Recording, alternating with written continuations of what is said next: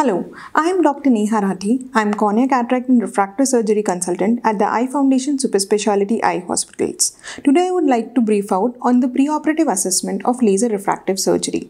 To select a good candidate for laser refractive surgery, it is very essential to go through a structured examination. At first, the detailed history from the patient is taken. Patient should inform the doctor about any prior disease or any prior eye disease which the patient has. Also, if the patient is on any eye drops or any prior systemic history, like if any significant disease the patient has is to be informed to the doctor. Also, any ongoing medication, like any medication for acne, like Accutane, if the patient is taking, should be uh, informed to the doctor.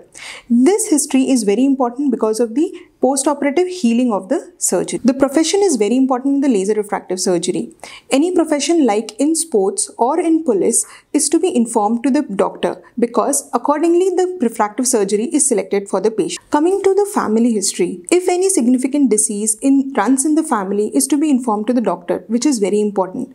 Any disease like keratoconus uh, can exaggerate the situation even more after laser refractive surgery and such diseases are strictly contraindicated for the laser refractive surgery. So the patient should be well aware to inform the doctor if any significant disease runs in the family. So coming to the preoperative assessment. At first, a detailed power evaluation is done for the patient so that the exact power is calculated. Then the patient is taken for the cornea scan.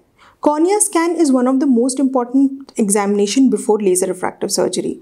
At first, the uh, curvature of the cornea is seen, then the thickness of the cornea is seen. According to the curvature and the thickness of the cornea, the particular uh, procedure is selected for the patient. After the cornea scan, the patient is taken for slit lamp examination and the nerve examination. In the slit lamp examination, any disease in the front of the eye is first addressed and taken care of before the laser refractive surgery. For example, if the patient has any dry eyes or any problem in the lids is to be addressed first and managed first before laser refractive surgery. After that, a detailed nerve examination is done.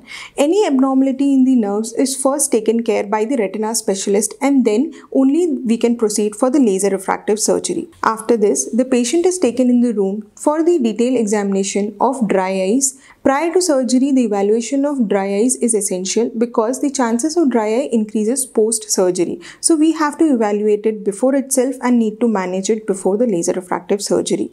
Thank you so much.